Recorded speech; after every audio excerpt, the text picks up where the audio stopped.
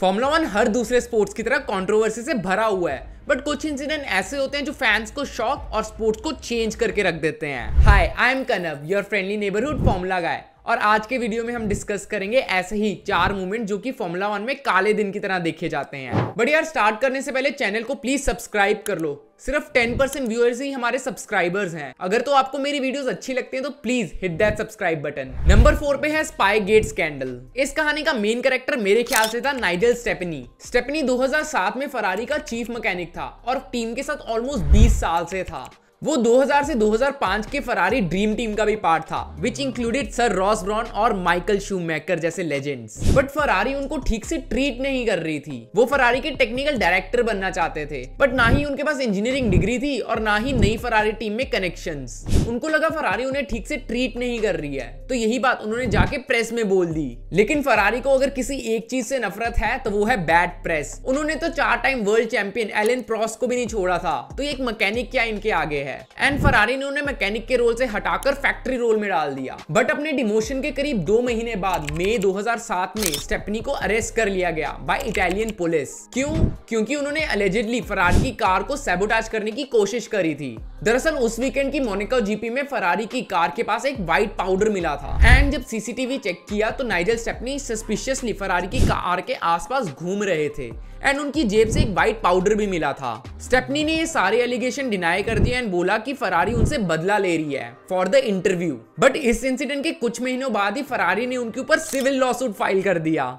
Allegation के according stepney ने Ferrari के 800 पेजेस वर्थ सीक्रेट मैक्लेरन के चीफ डिज़ाइनर माइकल कोगलन को दे दिए थे। अब इसका पता फरारी को कैसे चला? वेल well, कोगलन ने ये डॉक्यूमेंट्स अपनी वाइफ को फोटोकॉपी कराने के लिए दिए थे।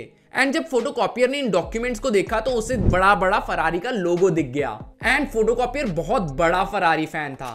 तो जब उसने ये लोगो देखा तो उसे थोड़ी सी गड़बड़ लगी। उसने ये बात सीधा फरारी के डायरेक्टर स्टेफानो डोमिनिकाली को एक ईमेल में बता दी। एंड फरारी इस चीज़ के बाद बहुत ज़्यादा नाराज़ हो गई। जब ये बात मैक्लेरन को पता चली तो मैक्लेरन ने क्लूगन को और फरारी ने स्टेपनी को निकाल दिया था। इनिशियल इन्वेस्टिगेशन में मैक्लेरन ने बोला कि ये डॉक्यूमेंट्स कभी भी कोगलन के घर से उनके फैक्ट्री तक पहुँचे ही नहीं तो मैक्लेरन को पेनलाइज नहीं करना चाहिए। बट कुछ महीनों बाद ही रॉन डेनिस ने खुद ही एफआईए के प्रेसिडेंट मैक्स मोजली को कॉल किया एंड सब कुछ सच बता दिया। एफ़ ने मैक्लेरन के तीनों ड्राइवर्स हैमिल्टन अलोन्जो डेलारोसा की स्टेटमेंट्स ली। एंड उन्हें 288 pages worth email text messages और डॉक्यूमेंट्स मिले इस केस से रिलेटेड बट सबसे बड़ा एविडेंस था डेलारोसा का ईमेल जो उन्होंने अलोन्जो को लिखा था.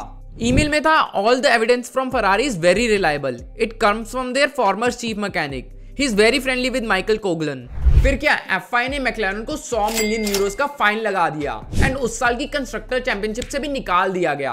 ये अभी तक हाईएस्ट फाइन या पनिशमेंट है एफ़ में। हालाँकि मैक्लेरन के किसी भी ड्राइवर के खिलाफ कोई एक्शन नहीं लिया गया। एंड फनी बात यह है कि उस साल की चैंपियनशिप फरारी के ड्राइवर किमी राइकन ने एक पॉइंट से जीती थी। हैमिल्टन और ओलॉन्जो दोनों मैक्लेरन ड्राइवर्स को हराकर। इस इंसिडेंट में तो फिर भी एक टीम ही इफ़ेक्ट हुई। बट अगले इंसिडेंट की वजह से पूरे F1 का नाम खराब हो गया। नंबर थ्री पे है 2005 की इंडियाना पॉलिस वेल well, सबको पता है कि F1 का टायर सप्लायर पिरेली है बट 2005 में सिचुएशन अलग थी। उस टाइम पे दो टायर सप्लायर थे मिशलिन और ब्रिजस्टोन सात टीमें मिशलिन टायर यूज़ करती थी और तीन टीम ब्रिजस्टोन टायर्स ऑल्सो उस साल एक F1 ने नया रूल बनाया था कि टीम्स अपने टायर पूरी रेस में चेंज नहीं कर सकती। यानी पिट स्टॉप में वो अपने टायर्स नहीं चेंज कर सकते बट रिफ्यूल कर सकते हैं। अब फ्राइडे के प्रैक्टिस सेशन में राफ शुमैकर की टोयोटा टर्न 13 पे क्रैश कर गई थी। रीजन क्या था? टायर वर्स्ट एंड उस दिन मिशलिन के छह और टायर रिलेटेड इंसिडेंट्स हुए थे. एंड इसका रीजन उन्हें पता चला ऑल द फोर्सेस जो कि एक्ट कर रही थी टायर पे on the banking of turn 13 दरअसल उस साल इंडियाना पॉलिस का पूरा ट्रैक ही रिसर्फेस हुआ था। एंड ये दिक्कत बन गया था मिशलिन टीम्स के लिए। मिशलिन ने नए स्पेसिफिकेशन के टायर सेट अगले ही दिन लाए बट वो भी नाकाम हो गए। एंड इसी के कारण मिशलिन ने अपने टायर्स के साथ सिर्फ़ 10 लैप की सिक्योरिटी ही दी। एंड इससे बिल्कुल अलग ब्रिजस्टोन टीम्स काफ़ी अच्छा परफॉर्म कर रही थी। एंड इसका रीजन था एक्स्ट्रा डेटा जो कि उन्हें उस साल की इंडी कार रेस से मिला था। दरअसल Indy car Firestone tyres use कर रही थी। एंड इसकी पेरेंट कंपनी थी ब्रिजस्टोन अब इस चीज़ को ठीक करने के लिए काफ़ी स्टूपिड आइडियाज़ प्रपोज किए गए थे। जैसे बोला गया था कि मिशलिन के टीम्स हर 10 लैप के बाद पिट कर लें और टायर्स चेंज कर लें। या फिर जब वो बैंकिंग आती है, तब वो अपनी कार स्लो कर लें। बट इससे कंपटीशन फेयर कैसे रहा? एक अच्छा सोल्यूशन जो प्रपोज किया जा रहा था, वो था कि एक शिकेन लगा दी जाए before the banking of turn thirteen इससे सब कार स्लो हो सकती हैं। बट फरारी जो कि उस साल ब्रिजस्टोन के टायर यूज़ कर रही थी, इससे रिजेक्ट कर दिया और इस डिसीज़न को वीटो कर दिया। फिर मिशलिन टीम्स ने बोला कि इस रेस को नॉन चैंपियनशिप रेस बना दो, ताकि एटलीस्ट जो ऑडियंस आए हैं, उनका एंटरटेनमेंट तो हो सके। बट ये आइडिया भी बिल्कुल नकार दिया गया। रेस डे आ गया था एंड किसी को नहीं पता था क्या होने वाला है। फाइनली फॉर्मेशन लैब लेने के बाद 20 में से 14 टीम्स वापस पिटलेन में चली गई और रेस स्टार्ट हुई सिर्फ़ छह कार के साथ। ये काफ़ी शर्मनाक मोमेंट था फॉर एफ़ ऑडियंस जो उस दिन रेस देखने आई थी काफ़ी ज़्यादा नाराज़ हो गई। एंड रेस के मिडवे ही वॉकआउट करने लग गई। I I mean mean, car को कौन देखना चाहेगा? रेस में कुछ खास हुआ भी नहीं। छे कार सर्कल में घूमती रही और माइकल शुमेकर ने रेस जीत ली अपनी first of the season podium पे शूमैकर और बेरेगेलो ने बिल्कुल सेलिब्रेट भी नहीं किया। बट थर्ड प्लेस के टियागो मंटेरा ने काफ़ी खुश होकर अपना करियर का first and only podium secure किया। इस रेस के कारण यूएस में फॉर्मूला वन की पॉपुलैरिटी गिरने लग पड़ी। एंड 2008 से यूएसजीपी को भी कैंसिल कर दिया गया। 2012 में F1 फिर से यूएस की धरती पे वापस आया। बट इंडियाना पॉलिस में नहीं ऑस्टिन में। वेल well, जो भी हुआ किसी ने इसको एंटिसिपेट नहीं किया था। बट अगला वाला जो कांड था उसको तो फुल प्रूफ प्लान करके किया गया था। नंबर टू पे है क्रैश गेट स्कैंडल स्कैंडल में जाने से पहले प्लीज़ यार चैनल को सब्सक्राइब कर लो अगर अभी तक नहीं किया। हमें आपके सपोर्ट की काफ़ी ज़रूरत है। 2008 की सिंगापुर जीपी F1 की पहली नाइट रेस होने जा रही थी। फरारी और मैक्लेरन दोनों टीम्स ही काफ़ी कंपेटिटिव लग रही थी। रेनो में उस साल two times world champion Fernando Alonso थे और उनके साथ rookie Nelson Piquet junior Alonso race P15 से स्टार्ट कर रहे थे और पीके P16 पे। रेस में सब कुछ ठीक चल रहा था कि अचानक पीके लैप 14 के 70th कॉर्नर पर क्रैश कर गए। इसके कारण सेफ्टी कार को डिप्लॉय कर दिया गया। अब जब उस टाइम पे सेफ्टी कार डिप्लॉय होती थी तो सब कार को एक लाइन में आना होता था।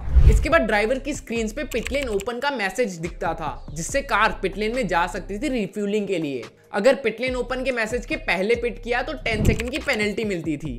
निको रॉसबर्ग जो कि फ्रंट रनर थे, उन्होंने इस मैसेज के आने से पहले ही पिट कर लिया, जिससे उनको 10 सेकंड की पेनल्टी मिल गई। एंड समहाउ अलोंजो ने लैप 12 पे ही पिट किया था, जिसकी वजह से उन्हें एक एडवांटेज भी मिल गई और रेस लीड भी मिल गई। अलोंजो ने 15 से स्टार्ट करके एक अमेजिंग ड्राइव और कुछ लक की वजह से रेस जीत ली थी। ये उनकी टीम की और उनकी पहली रेस विन थी उस सीज़न में। फन फैक्ट इसी रेस में मासा, जो कि फरारी में थे, उनका फ्यूल होस कार में अटक गया था। जिनके कारण उनकी रेस समाप्त हो गई। एंड इसी डीएनएफ ने शायद उनको 2008 की चैंपियनशिप भी हरवा दी थी। अब अगला सीज़न आया और पीके जूनियर को मिडवे ही टीम ने निकाल दिया गया due to poor performances but Piquet को ये कुछ खास अच्छा लगा नहीं। निकाले जाने के कुछ ही दिन बाद उन्होंने FIA को एक टेस्टिमनी में बताया की रेनॉक के मैनेजिंग डायरेक्टर फ्लावियो बेरातोरे और executive director of engineering Pat Symonds ने उनको डेलिबरेटली क्रैश करने का ऑर्डर दिया था, ताकि अलोंजो रेस जीत सके।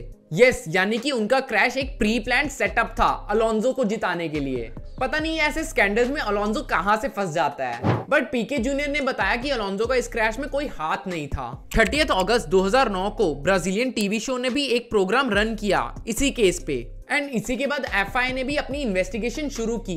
4 सितंबर 2009 को एफआई ने रेनॉर्ट को एक्यूज किया for interfering in the outcome of the race and conspiring Piquet junior crash and इसी के रिस्पॉन्स में रेनॉट ने पीके जूनियर और पीके सीनियर के अगेंस्ट लॉ सूट फ़ाइल कर दिया for wrong allegation and blackmailing उनके अकॉर्डिंग पीके जूनियर रेनॉट को ब्लैकमेल कर रहे थे एंड अपनी सीट वापस चाहते थे for the rest of the season but इसके कुछ ही दिन बाद एक कंप्लीट यू टर्न लेते हुए रेनॉट ने सारे के सारे एलिगेशन एक्सेप्ट कर लिए. एंड उन्होंने एक्सेप्ट किया कि उनका क्रैश के स्कैंडल में एक हाथ तो था। फ्लावियो बेरेतोरो ने हालाँकि पब्लिकली अपने आप को इनोसेंट बताया। बट टीम की रेपुटेशन के लिए रेनॉथ के मैनेजिंग डायरेक्टर की पोजीशन से रिजाइन कर दिया. एंड इसके रिस्पॉन्स में एफ़ ने रेनॉथ की टीम को उस साल सीज़न से बैन कर दिया और अगले दो साल के लिए सस्पेंड भी कर दिया. पैट सिमेंट्स को उनकी कॉपोरेशन के लिए पाँच साल से स्पोर्ट से बैन कर दिया और फ्लावियो बेरेतोलो को लाइफ टाइम बैन कर दिया स्पोर्ट से. हालाँकि फ्लावियो बेरेतोलो ने इस पनिशमेंट को एक लॉ सूट में डिफेंड किया, जो कि वो जीत भी गए. बट स्टिल वो F1 से 2013 तक सस्पेंड रहे। बट इस सब में अलोंजो को उनकी रेस विन रखने दी और रेस रिजल्ट्स को भी चेंज नहीं किया। बट अगर इस सिचुएशन से सबसे ज़्यादा किसी को नुकसान हुआ था तो वो था फलीपे मासा दरअसल 2008 की चैंपियनशिप फिलिपे मासा सिर्फ़ एक पॉइंट से हारे थे हैमिल्टन से। एंड अगर इस रेस के रिजल्ट्स को कैंसिल कर दिया गया तो हैमिल्टन की जगह फिलिपे मासा बन जाएँगे वर्ल्ड चैंपियन एंड सिर्फ़ इसी कारण उन्होंने काफ़ी बार अपील किया कि उस रेस के रिजल्ट्स को कैंसिल कर दिया जाए। अब ये सारा सेटअप तो एक टीम ने प्लान किया था बट अगले कांड में तो टीम नहीं एफ़ ने प्लानिंग कर ली। नंबर वन पे है 2021 की आबू धाबी ग्रांड प्री अब इसको स्टार्ट करने से पहले मैं बता दूँ कि मैं किसी की साइड पे नहीं हूँ। ये काफ़ी कंट्रोवर्शियल टॉपिक है एंड सबके अलग अलग ओपिनियन हो सकते हैं इस पे। मैं कंप्लीटली अनबायस होकर सारे इवेंट्स आपके सामने रख दूँगा। And then you can decide अपना ओपिनियन इसके ऊपर। तो 2021 सीज़न था और लुइस हैमिल्टन और मैक्स वर्स्टैपन इक्वल थे पॉइंट्स में before the final race of the season simple था। फाइनल रेस जो जीता, वो जीतेगा चैंपियनशिप लुइस हैमिल्टन अपने record breaking eight world title को जीतना चाहते थे और मैक्स वर्स्टैपन अपना फ़र्स्ट वर्ल्ड टाइटल जीतना चाहते थे। तो स्टेक्स ऑलरेडी काफ़ी ज़्यादा हाई थे। लुइस हैमिल्टन उस दिन काफ़ी अच्छी पेस में थे और मैक्स वर्स्टैपन से ऑलमोस्ट 12 सेकंड्स आगे थे। एंड सबको यही लग रहा था कि लुइस अपना एट्स वर्ल्ड टाइटल जीत जाएँगे। बट अचानक लैप 54 पे लतीफी क्रैश्ड इसको देख के मैक्स वर्स्टैपन ने फटाफट से फ्रेश टायर्स के लिए पिट किया और लुइस हैमिल्टन ने रेस लीड रखी। अब रेस में सिर्फ़ चार लैप्स बचे थे और फुल सेफ्टी कार को डिप्लॉय कर दिया गया था। अब सेफ्टी कार प्रोसीजर के अकॉर्डिंग सारी की सारी अनलैप कार्स अपने आप को पहले लैप करेंगी। इसका मतलब वेल सारी कार्स एक क्यू में होंगी और सेम लैप पे होंगी। इसके बाद सेफ्टी कार एक खाली लैप भी लेगी, जिसके बाद रेस को रिज्यूम किया जाएगा। अब इस सब में टोटल चार lap under the safety car होना चाहिए था आइडियली एंड जब तक सेफ्टी कार सारा प्रोसीजर खत्म करके वापस पिट में जाती, तब तक रेस खत्म हो जाती। क्योंकि रेस में सिर्फ़ 58 लैप्स ही थे। एंड आइडियली रेस तो सेफ्टी कार के पीछे ही खत्म होनी चाहिए थी। आइडियली एंड रूल्स की माने तो रेस को सेफ्टी कार के अंडर ही खत्म करना चाहिए था। बट शायद माइकल मासी जो कि उस साल रेस डायरेक्टर थे, के कुछ और ही प्लान्स थे। सबको अनलैप करवाने की जगह उन्होंने लुइस और मैक्स के बीच की कार्स को ही अनलैप करवाया, ताकि वर्स्टैपन हैमिल्टन के बिल्कुल पीछे आ जाएँ। एंड जो कि एक खाली लैप होना था, वो भी नहीं करवाया गया। अब सिचुएशन ये थी कि लुइस हैमिल्टन था P1 में और मैक्स वर्स्टैपन बिल्कुल पीछे P2 में। लुइस हैमिल्टन अपने ओल्ड टायर्स पे था और मैक्स वर्स्टैपन अपने फ्रेश टायर्स पे। मर्सिडीज के टीम बॉस टोटो वुल्फ ने इसके अगेंस्ट प्रोटेस्ट भी किया रेडियो पे बट माइकल मासी ने उनको नकार दिया कंप्लीटली फिर क्या, मैक्स ने लुइस को सीज़न की लास्ट रेस के लास्ट लैप पे ओवरटेक करके वर्ल्ड चैंपियनशिप जीत ली? रेस के जस्ट बाद मर्सिडीज ने इस रिज़ल्ट के अगेंस्ट अपील की एफ़ को, पर उनकी अपील रिजेक्ट कर दी गई। इसके कारण पूरा F1 के ऑडियंस और वर्ल्ड एफ़ से नाराज़ हो गया और माइकल मासी बन गए थे सबसे बड़े दुश्मन।